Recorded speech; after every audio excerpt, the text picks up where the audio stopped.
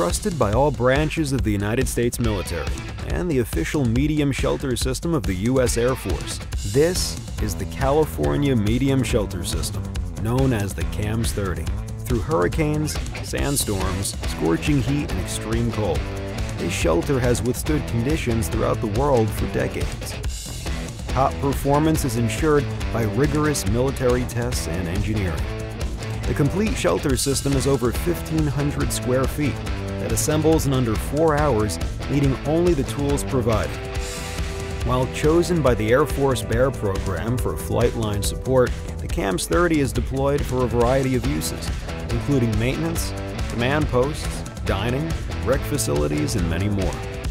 Now available with energy-saving accessories that could substantially reduce ECU usage by nearly 50%. Choose the CAMSS 30, the official U.S. Air Force medium shelter system. CAMSS, tried and true.